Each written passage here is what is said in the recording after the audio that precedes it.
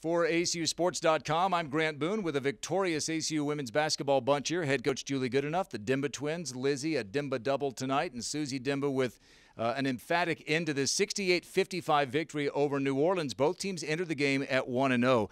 Suzzy, let's start with you. You had uh, that block at the end of the game on Randy Brown. Uh, how much of a focus was she coming into the game? Uh, she was a very big focus. We knew that, especially with her coming into this game with 45 points in her last game, that she would be uh, coming in and trying to score a high amount again. So we knew that we had to try and stop her.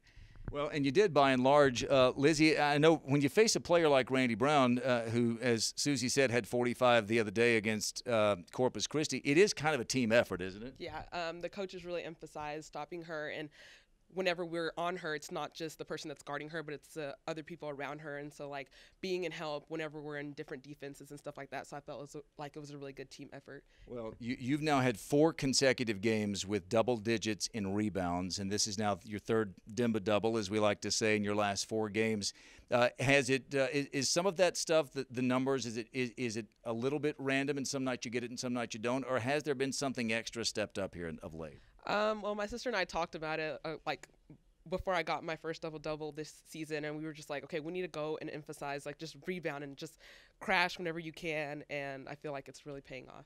Well, it, it is. You're now 2 0 in the conference. Coach, you out rebounded New Orleans tonight. Uh, and I think it's indicative of a good team that when maybe the shots aren't falling like so often they do here at Moody, you find other ways to win. Well, and, and we knew that this uh, New Orleans team was they came they're coming in with a high powered offense. They score a lot of points fast, and so um, you know we really emphasize contesting the shot, making sure that we block out and rebound, and not let them get a lot of extra opportunities to score on the offensive end. But uh, rebounding has been a strength for us the last couple of years a lot of credit to Suzzy and, and Lizzy and Sydney. I think three of the best rebounders in the conference. And so um, they did a really nice job of, of being intentional on both ends, going after rebounds. You know what else they did a nice job of tonight?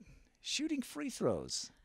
Not a single Dimba missed a free throw tonight. Suzzy was four of four. Lizzy was seven of seven. Help people understand who may not uh, know what a week to week, day to day life is like for a basketball player. How much do you shoot free throws in, in practice? Uh, coach, for water breaks, we shoot free throws on everyone, and so we shoot a lot of free throws.